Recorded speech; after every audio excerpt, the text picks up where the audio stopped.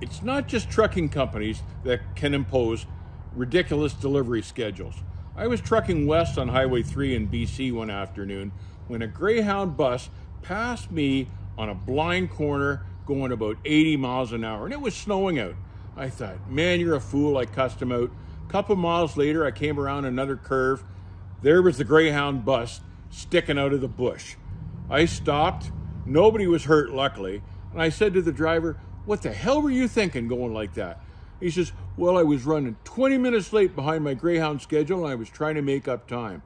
That's one of the reasons I never drove bus. It's one thing to flop a load of freight into the ditch, it's another thing altogether to roll a bus and kill people.